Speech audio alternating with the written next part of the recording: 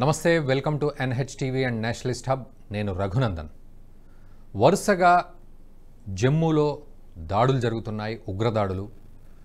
పదుల సంఖ్యలో సైనికులు మరణించడం ఇప్పటివరకు మనం చూసాం అయితే దాదాపు ఆరు నుంచి ఎనిమిది దాడుల వరకు జరిగిన తర్వాత కూడా భారత్ మౌనంగానే ఉంది అనే విమర్శలు కొంత వచ్చాయి. నిజానికి భారత్ మౌనంగా ఉందా లేకపోతే వ్యూహాత్మకంగా అడుగులు వేస్తోందా అనేది ఇక్కడ ప్రశ్నించుకోవాల్సిన పరిస్థితి. అయితే ఇటు దోడ దాడుల వెనక ఉగ్రవాదుల హస్తమే కాదు జైషే మొహమ్మద్ తనకు తాను ప్రకటించుకుంది మేమే ఈ దాడికి పాల్పడ్డాము బాధ్యత మాదే అని. కానీ అక్కడ దొరికిన సాక్ష్యాలు గనక చూసినట్లయితే Pakistan special service group members కూడా అందులో పాల్గొన్నారా అన్న అనుమానం కలుగుతోంది. అంటే పాకిస్తాన్కి సంబంధించిన ఎక్స్ ఆర్మీ సభ్యులు ఇక్కడ ఉగ్రవాదులతో పాటు పాల్గొన్నారా అన్న అనుమానం కలుగుతోంది. అక్కడ దొరికిన సాక్ష్యాలు అటువంటివి. సో ఇదంతా ఒక ఎత్తైతే అటు మరోవైపు ఇండియా భారత ఆర్మీ రంగంలోకి దిగింది. దాదాపు వందల సంఖ్యలో పారామిలిటరీ కమాండోస్ రంగంలోకి దిగారు ఏరివేతకు సిద్ధమయ్యారు. సో ఎక్కడ నక్కి ఉన్న టెర్రరిస్టులు వారిని మట్టుబెట్టే ప్రయత్నం చేయబోతోంది ఈ కమాండో వర్గమంతా కూడా. సో ఎక్కడ ఉన్నా కూడా పెకిలించి వేస్తాం బయటికి తీస్తాం వాళ్ళందరినీ. వాళ్ళకు ఎవరైతే సహకరిస్తున్నారో వాళ్ళను కూడా ప్రపంచానికి చూపెడతామని చెప్పి భారత ఆర్మీ అంటోంది. సో నిజానికి పాకిస్తాన్ హస్తం ఉంది అనే ప్రశ్నకు సమాధానం అటు భారత ఆర్మీ కనుగొంటుంది ప్రపంచానికి కూడా చాటి చెప్తుంది. సో ఇదంతా ఎంతవరకు పాసిబిలిటీస్ ఉన్నాయి? మరోవైపు రాబోయే రోజుల్లో అటు జమ్మూ కాశ్మీర్లో ఎన్నికలు ఉన్నాయి అసెంబ్లీ ఎలక్షన్స్ పెట్టబోతోంది ఎలక్షన్ కమిషన్. సో ఈ నేపథ్యంలో తమ ఉనికిని చాటుకునే విధంగా గందరగోళాన్ని సృష్టించే విధంగా అక్కడ ఉగ్రవాదులు పెట్టరిగిపోతున్న సందర్భం. సో దీన్ని అరికట్టే ప్రయత్నం భారత ఆర్మీ సక్సెస్ఫుల్గా చేస్తుందా? ఎన్నికలు ప్రశాంతమైన వాతావరణంలో పూర్తిగా సఫలీకృతమయ్యే విధంగా త- ప్రణాళిక రచిస్తుందా? సో భారత ప్రభుత్వం కానీ ఇటు దళాలు కానీ ఏం చేయబోతున్నాయి? భారత ఆర్మీ కానీ ఏం చేయబోతోంది? ఇవన్నీ కూడా మనం మాట్లాడదాం. మనతో పాటు ప్యానెల్లో ఉన్నారు కల్నల్ పరమేశ్వర్ గారు మాజీ సైనికాధికారి.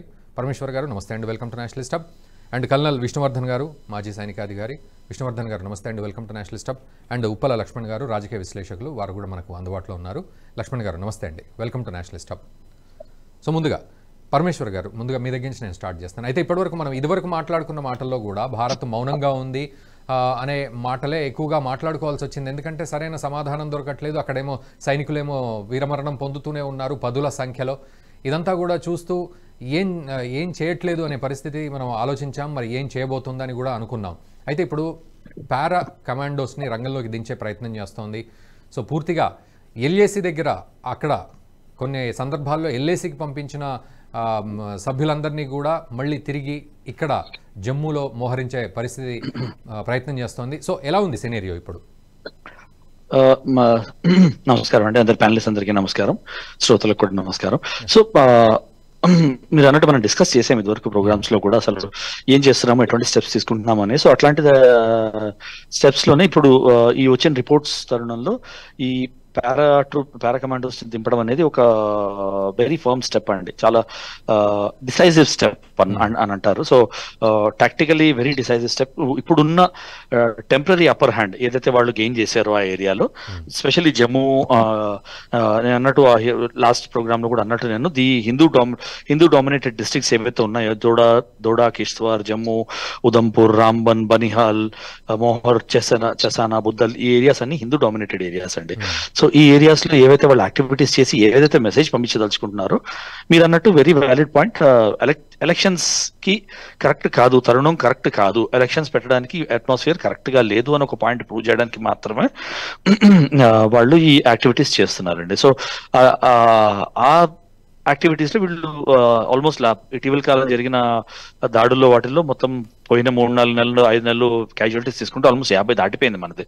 డిఫెన్స్ ఫోర్సెస్కి క్యాజువాలిటీస్ యాభై దాటిపోయింది. సో నాట్ నార్మల్ అండి సర్టన్లీ నాట్ నార్మల్ వాళ్ళకి టెంపరీ టాక్టికల్ అడ్వాంటేజ్ అయితే ఈ మొరల్ మొరల్ అడ్వాంటేజ్ అనొచ్చు. టాక్టికల్ అడ్వాంటేజ్ అని అనలేము ఇంకా.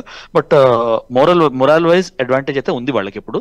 ఆ అడ్వాంటేజ్ని కొంచెం బ్లండ్ చేయడం కోసం ఈ పారా కమాండోస్ అనేది దింపడం జరిగింది. అయితే ఇలాంటిది ఫస్ట్ టైం జరుగుతుందంటే ఏం లేదు. ఇట్లాంటివి మల్టిపుల్ టైమ్స్ ఇట్లాంటి యాక్షన్స్ జరిగాయండి. ఇన్ఫాక్ట్ నేను కూడా అక్కడ జమ్మూ కాశ్మీర్ వ్యాలీలో ఆపరేట్ జమ్మూ కాశ్మీర్లో బయలేలో కాదు. రజౌరి పుంచ్ డిస్ట్రిక్ట్స్లో నేను ఆపరేట్ చేసేటప్పుడు కూడా మాకు మాకు హెల్ప్ చేయడం కోసమని ఇట్లా పారాకమాండో దింపడం దింపడం అనేది అలాంటి మల్టిపుల్ టైమ్స్ ఇట్లాంటివి జరిగాయి. అంటే పారాకమాండోస్ ఏంటంటే చాలా quick they are quick to adapt అండి. వాళ్ళ ట్రైనింగ్స్కి వాటికి వాటిని బట్టి ఏంటంటే మల్టీ ఏ టెరైన్లో ఉన్నా కూడా చాలా క్విక్గా అడాప్ట్ అవుతారు. క్విక్గా hit and hit and move kind of troops అండి వాళ్ళు. అంటే స్పెసిఫిక్ ఆపరేషన్స్ చేసి రిజల్ట్ ఇచ్చి బయటికి వెళ్ళిపోతారు. వాళ్ళు అక్కడ డిప్లాయ్ చేసుకోరు ఎక్కడ ఎక్కడ రీజన్ అది వాళ్ళ స్పెషాలిటీ పర్టికులర్ స్పెషాలిటీ వాళ్ళది అది so specific informations specific inputs local locally establish అయి ఉన్న యూనిట్స్ నుంచి వాళ్ళు తీసుకుంటారు. తీసుకుని టార్గెటెడ్ ఏరియాస్లో ఆపరేషన్స్ లాంచ్ చేసి ఏదైతే వాళ్ళకి మొరాల్ అడ్వాంటేజ్ ఉందో అది వాళ్ళని కొందరు టెర్రరిస్ట్ని ఎలిమినేట్ చేయడం కానీ వాళ్ళ లీడర్షిప్ని ఎలిమినేట్ చేయడం కానీ వాళ్ళ లాజిస్టిక్ చైన్స్ని పర్మనెంట్గా డ్యామేజ్ చేయడం కానీ అలాంటి పర్మనెంట్ యాక్షన్స్ చేసి వాళ్ళు లాంగ్ లాస్టింగ్ యాక్షన్స్ చేసి వాళ్ళు విత్డ్రా చేయడం అనేది జరుగుతుంది. సో అలాంటి ప్లాన్లో ఇది పారా కమాండర్స్ లాంచ్ చేయడం అనేది ఒక యాక్షన్ అండి. అయితే ఆ, వాళ్ళు వాళ్ళు చేసేది ఒక విధంగా పారా కమాండర్స్ లాంచ్ చేయడం ఒక యాక్షన్ అయితే సెకండ్ మీరు అన్నట్టు పాకిస్తాన్ ఆర్మీ ఇన్వాల్వ్ అయ్యిందా అనేది ఒక ఒక క్వశ్చన్ కూడా వచ్చింది. అయితే వాళ్ళ వెపన్స్ రావడము కొందరి వాళ్ళ రిటైర్డ్ సోల్జర్స్ రిఫరెన్సెస్ రావడము అవన్నీ అవన్నీ అనేది దిస్ నాట్ న్యూ థింగ్ అండి. వాళ్ళకి ఆఫ్ఘనిస్తాన్ యుద్ధంలో వాడిన అమెరికన్ ఎం ఫోర్ కార్బైన్స్ కానీ లేకపోతే పియర్సింగ్ బుల్లెట్స్ కానీ అని అన్నారు. సో అంటే వాట్ డస్ ఇట్ మీన్ ఎలా అర్థం చేసుకోవాలి దాన్ని? అంటే ఏమవుతుందంటే మీరు వీళ్ళ లాంచ్ ప్యాడ్స్ ఏవైతే ఉన్నాయి అంటే their launch pads are just ahead of the training camps అండి. వాళ్ళ వాళ్ళ వాళ్ళ చైన్ ఎట్లా ఉంటుందంటే పాకిస్తాన్ ఆర్మీ పోస్ట్ ఉంటాయి అన్నిటికన్నా వెనకాల. దాని తర్వాత వీళ్ళవి వాటితో పాటు colocated are these training camps అండి. మీరు అంటే ఇప్పుడు యాక్టివ్ ట్రైనింగ్ క్యాంప్స్ తీసుకుంటే పది పన్నెండు యాక్టివ్ మనకి మన ఇంటెలిజెన్స్కి తెలిసి ఒక పన్నెండో పదిహేనో యాక్టివ్ ట్రైనింగ్ క్యాంప్స్ ఉన్నాయి. అవి మీరు లైన్ ఆఫ్ యాక్చువల్ కంట్రోల్ మీ గీతలో చూసారంటే అన్ని పాకిస్తాన్ ఆక్యుపైడ్ కాశ్మీర్లో జనరలీ రంగ్లా గానీ స్వర్సావా గానీ నిక్లాయ్ గానీ Shaukat lane Shaukat lane training camp కానీ లీపా లీపా వ్యాలీ కానీ కోట్లీ జంగల్ జంగల్ మంగల్ క్యాంప్ అని. ఇట్లా పేర్లు చెప్పుకుంటే దేవ్లీ అట్లా పేర్లు చెప్పుకుంటూ పోతుంటే వస్తూనే ఉంటాయండి ఇటు పేర్లు. ఓ పన్నెండు పదిహేను యాక్టివ్ క్యాంప్స్ ఉన్నాయి. ఆ క్యాంప్స్లో వీళ్ళు ట్రైన్ చేసేటప్పుడు ఏం చేస్తారంటే పాకిస్తాన్ ఆర్మీ వాళ్ళతో పాటు ట్రైనింగ్ చేపిస్తారు నెంబర్ వన్. నెంబర్ టూ ఏమవుతుందంటే నెంబర్ టూ ఏమవుతుందంటే వాళ్ళకి సమ్ టైమ్స్ వాళ్ళతో ఏం చేస్తారంటే వాళ్ళని రిటైర్డ్ సోల్జర్స్ వాళ్ళని మోటివేషన్ కోసం తీసుకొస్తారు. రిటైర్డ్ సోల్జర్స్ని తీసుకొచ్చి ఆ ఏరియాలో బాగా సర్వ్ చేసిన వాళ్ళని రిటైర్డ్ సోల్జర్స్ ఎవరికైతే ఈ రాడికలైజ్డ్ మైండ్ సెట్ ఎవరికైతే ఉంటుందో వాళ్ళని తీసుకొచ్చి వాళ్ళని వీళ్ళతో పాటు ఇండెక్ట్ చేస్తారు. సో దట్ ఒకటి ఈ టెర్రరిస్ట్ డిమోటివేట్ కాకుండా కొందరి మీద వీళ్ళకి ఏంటంటే అనుమానం ఉంటుందండి. వీళ్ళు ఈ టెర్రరిస్ట్ కంటిన్యూస్గా ఉంటారా? లేకపోతే అక్కడికి వెళ్ళి మారిపోతారా? అక్కడికి వెళ్ళి సరెండర్ అయిపోయి నార్మల్ లైఫ్ వెళ్ళిపోతారా? సో సమ్ టైమ్స్ ఏం చేస్తారంటే ఆ రిటైర్డ్ సోల్జర్స్ని కూడా ఆ వాళ్ళలో కలిపి పంపించడం అనేది కొత్త మోడల్స్ ఆపరేటింగ్ ఏం కాదండి. చాలా పాత ఆపరేటివ్ మోడల్ పాతదైనా అంటే మీరు అన్నది కొంత విచిత్రంగా ఉంది. నిజానికి అంటే టెర్రరిస్ట్. ఇటు ఆర్మీ రిలేటెడ్ ఇది ఎట్లా సెట్ అవుతుంది వాళ్ళల్లో వాళ్ళకి వాళ్ళకి పెద్ద వాళ్ళకి పెద్ద డిఫరెన్స్ ఏం లేదండి రెండు ఇద్దరులో ఎందుకంటే కలిసి ట్రైనింగ్ చేస్తారు వాళ్ళు. ఈ ట్రైనింగ్ క్యాంప్స్లో వాటిల్లోనూ ప్లస్ కొన్ని కొన్ని సార్లు ఏమవుతుందంటే టెంపరీగా టాక్టికల్లీ ఏం చేయాల్సి వస్తుందంటే యూఎన్ అబ్జర్వర్స్ వాళ్ళు వాళ్ళ వాళ్ళ సైడ్ వచ్చినప్పుడు ఏం చేస్తారంటే ఆ. ట్రైనింగ్ క్యాంప్స్లో ఆర్మీ ట్రైనింగ్ జరుగుతున్నట్టు చూస్తారు. సో ఏంటంటే చూపిస్తారు వాళ్ళు. సో అలాంటప్పుడు ఏం చేస్తారంటే ఆ టెర్రరిస్ట్ కూడా వాళ్ళు ఆర్మీ డ్రెస్సెస్ వేసి ఆర్మీ వాళ్ళతో పాటు ట్రైనింగ్ చేపిస్తుంటారు. ఆర్మీ ఐడెంటిటీస్ ఇచ్చి. సో వాళ్ళకి వాళ్ళకి పెద్ద డిఫరెన్స్ ఏం లేదండి. మనకి మనకి విచిత్రంగాను విడ్డూరంగాను కనిపించచ్చు. మ్మ్. కానీ వాళ్ళకి అది it's a normal thing for them so అట్లా చేయడము వాళ్ళ మోటివేషన్ కోసము వాళ్ళని బైండ్ చేసి ఉంచడం కోసము ఒక oversight leader leadership oversight లాగా ఈ రిటైర్డ్ ఆర్మీ సోల్జర్స్ని కూడా ఇచ్చి వాళ్ళ వెపన్స్ని కొన్ని వాళ్ళ వెపన్స్ని ఇచ్చి ఇట్లా పంపించడం అనేది చాలా నార్మల్ దిస్ థింగ్ అండి. అయితే మొన్న దోడాదాన్లో మీరు అన్నట్టు మీరు రిఫర్ చేసినట్టు రిటైర్డ్ సోల్జర్స్ ఉన్నట్టు వాళ్ళు మన సోల్జర్స్ని ఆ, మన మన సోల్జర్స్ మీద అంబుస్లో పార్టిసిపేట్ చేసినట్టు న్యూస్ రావడం అనేది కరెక్ట్ న్యూస్ అయితే వచ్చింది. కన్ఫర్మ్డా లేదా అనేది it's, process, uh, ఇంకా దట్ Yeah. అది ఉంటుంది కానీ అది డిక్లేర్ చేయడం కూడా కొంచెం కష్టం. కాన్ఫిడెన్షియల్ గానే ఉంచుతారు ఫర్ వేరియస్ రీజన్స్ సో ఏంటంటే uh, నాకు ఇన్ఫర్మేషన్ ప్రకారం ఏంటంటే ఇది నార్మల్ థింగ్ కానీ it is it is a part of that long term plan elections కాకుండా నార్మల్సీ రాకుండా కాశ్మీర్లో వీళ్ళు చేసేది this a part of that plan అండి. అంటే పరం గారు ఇక్కడ వాళ్ళు మెన్షన్ చేసిన దాంట్లో ఏంటంటే ఈ రకంగా దాడి చేసి మళ్ళీ రోజుల తరబడి అడవిలో దాక్కోవడం అనేది ముఖ్యంగా ఉగ్రవాదుల విషయంలో అది జరగదు బట్ చాలా ట్రైన్డ్గా చేస్తేనే వీళ్ళు జరుగుతుంది. అంటే మీరు అన్న ఈ ట్రైనింగ్ అక్కడ వర్కౌట్ అవుతుంది. ఈజీగా మ్యాచ్ అవుతుంది మీరు కరెక్ట్ కరెక్ట్ కరెక్ట్ కరెక్ట్ అంటే ఏమవుతుందంటే మీరు ఇంకోటి వీళ్ళ జనరల్ మోడస్ ఆపరెంట్ ఎట్లుంటుందంటే ఇంకొక జస్ట్ హాఫ్ మినిట్ తీసుకుంటాను ఇఫ్ యూర్ ఓకే. వీళ్ళ మోడస్ ఆపరెంట్ ఎట్లుంటుందంటే ఇండక్షన్ చేస్తారు. ట్రైనింగ్ అయిన తర్వాత టెర్రస్ ఇండక్ట్ చేయడానికి ఎట్లుంటుందంటే టెర్రస్ ఇండక్ట్ చేసినప్పుడు వాళ్ళకి టార్గెట్ ఏరియాస్ ఇచ్చేస్తారు.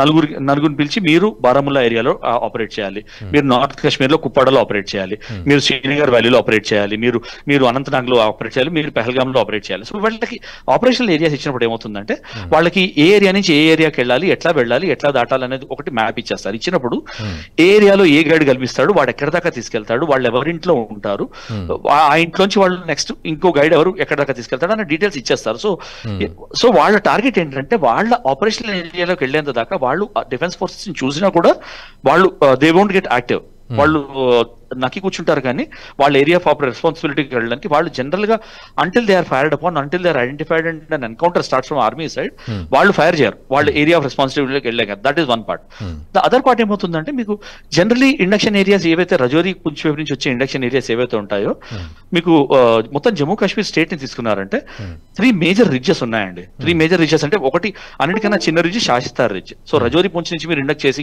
కిషన్ కిషన్ గంగా రివర్ ఉంది. కృష్ణా ఘాటి అని ఉంటుంది అక్కడ. రజోరీలో కిషన్ గంగా రివర్ ఆ రివర్ దాటి ఆ కిషన్ ఘాటిలోకి వచ్చినప్పుడు ఫస్ట్ రిడ్జ్ లైన్ ఏంటంటే శాసిస్తార్ రిడ్జ్ శాసిస్తార్ రిడ్జ్ ఏంటంటే మీకు రజోరీ పొంచ్ మెండర్ కిషన్ ఘాటి ఆ, సూరన్కోట్ ఏరియాని ఓవర్సీ చేస్తుంది. ఆ అండ్ అటువైపు వెళ్తే మీరు రజోరికి అటువైపు వెళ్తే ఉదంపూర్ డిస్ట్రిక్ట్లో మీకు మోహర్ బుద్దల్ చసానా రియాసి డిస్ట్రిక్ట్స్ ఉంటాయి. వాటి ఆ ఏరియాస్లో ఉంటాయి.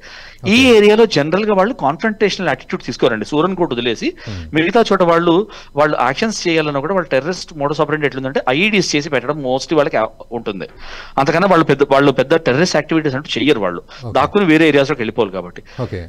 శాసితార్ రిడ్జ్ నుంచి దాటిన తర్వాత శంసాబరి రేంజెస్ వస్తాయి మీకు. శంసాబరి రేంజెస్ ఏవైతే అవైతే దాటుతారో మొత్తం లైన్ ఆఫ్ రేంజెస్ చూస్తే అంటే అలా చిన్నాల పెద్దాల అన్నిటికన్నా పెద్దాల అనమాట సో శంసాబరి రేంజెస్ మధ్యలో అనమాట శాసితార్ రిడ్జ్ అన్నిటికన్నా చిన్న రేంజెస్ దాని తర్వాత వచ్చే మౌంటైన్ రేంజెస్ శంషాబరి రేంజెస్ దాని తర్వాత పీర్ పంజాల్ రేంజెస్ అన్నమాట అట్లా ఉంటుంది అక్కడ. సో శంషాబరి రేంజెస్ ఏవైతే దాటారంటే మీరు ఆ రేంజెస్ దాటి మీరు కిందకి వెళ్ళారంటే మీరు శ్రీనగర్ బోల్లోకి అనంతనాగ్ బోల్లోకి లేకపోతే బారాముల్లా బోల్లోకి వాటిలో వాటిలోకి వెళ్ళిపోతారు. సో అక్కడ సో వెదర్ చేంజెస్ కూడా ఉంటాయి అక్కడ. అక్కడ ఎక్స్ట్రీమ్ వెదర్స్ ఉండడము టెరైన్ డిఫికల్ట్ అవ్వడం అవన్నీ కూడా జరుగుతాయి. సో వాళ్ళు అట్లా అట్లా ఏరియా ఆఫ్ రెస్పాన్సిబిలిటీస్ చూసుకుని ఇండక్షన్ చేసుకుంటూ వాళ్ళ ఏరియా ఆఫ్ రెస్పాన్సిబిలిటీకి వెళ్ళేంత దాకా వాళ్ళు ఆపరేషన్స్ చేయరండి. వాళ్ళు యాక్టివ్ అవ్వరు. సో వాళ్ళకి చాలా క్లియర్ మ్యాప్ ఉంటుంది. వాళ్ళ మైండ్లో చాలా క్లియర్గా డైరెక్షన్స్ ఇచ్చి ఉంటాయి. వాళ్ళు అప్పటిదాకా వాళ్ళకి ఏమైనా లాజిస్టిక్ మెసేజెస్ ఇచ్చేది ఉన్నా కూడా లోకల్ టెర్రరిస్ట్కి ఇచ్చేసి వాళ్ళు ముందరికి వెళ్ళిపోవడం జరుగుతుంది. కానీ వాళ్ళు కాన్ఫరెన్స్ చేయడం అంటూ ఉండదండి ఆ ఏరియాస్లో. సో సో అట్- అట్లా ఉంటుంది అనమాట సో వాళ్ళు జంగల్స్ జంగల్లో దాక్కోవడము సర్వైవ్ అవ్వడము కొన్ని కొన్నిసార్లు గైడ్స్ ఏమంటారంటే ఆర్మీ యాక్టివిటీ ఎక్కువ ఉంది మీరు దాక్కుని ఉండాలి మీకు ఈ హైడౌట్ ఉంది అని ఇచ్చేస్తారు. ప్రతిసారి సివిలియన్ ఇంట్లో ఉండడం కుదరదు. నాలుగు నాలుగు రోజులు ఐదు రోజులు ఉండాలంటే సివిలియన్ ఇళ్ళలో ఉండడం కుదరదు. ఎందుకంటే ఆపరేషన్స్ ఆర్మీ యాక్టివిటీ జరుగుతుంది. సో జంగల్లో కొన్ని హైడౌట్స్ ఉంటాయి. ఆ హైడౌట్స్లోకి వెళ్ళిపోమంటారు. మీరు వారం. రోజులు అక్కడ దాక్కోండి. మేము. మిమ్మల్ని కాంటాక్ట్ చేస్తాము. అని మీరు అన్నట్టు అక్కడ ఈ గొర్రెలను మేకలను మేపుకునే వాళ్ళు టెంపరీగా గుడిసెలు వేసుకుంటే ఆ తర్వాత వాళ్ళు అక్కడి నుంచి వెళ్ళిపోయాక వీళ్ళు అందులో స్థావరాలు ఏర్పాటు. చేసుకోవడం అని అంటున్నారు. చాలా. చాలా కీలక విషయాలు మీరు చెప్తూ ఉన్నారు. బట్ ఒక్కసారి ఇంట్రొడక్టరీ రౌండ్లో నేను ఒక్కసారి ఒక రౌండ్ కంప్లీట్ చేస్తాను. నెక్స్ట్ విష్ణువర్ధన్ గారు విష్ణువర్ధన్ గారు. ఈ వీడియో మీకు నచ్చినట్టయితే లైక్ చేయండి పది మందికి షేర్ చేయండి అలాగే కామెంట్ల రూపంలో మీ అభిప్రాయాలను మాతో పంచుకోండి. నేషనలిస్ట్ హబ్ గ్రూప్ ఆఫ్ ఛానల్స్ను సబ్స్క్రైబ్ చేసుకుని తెలుగునాట జాతీయవాద జర్నలిజాన్ని ప్రోత్సహించండి. ఈ వీడియో కింద ఉన్న బెలైకన్ పై క్లిక్ చేయడం మర్చిపోవద్దు.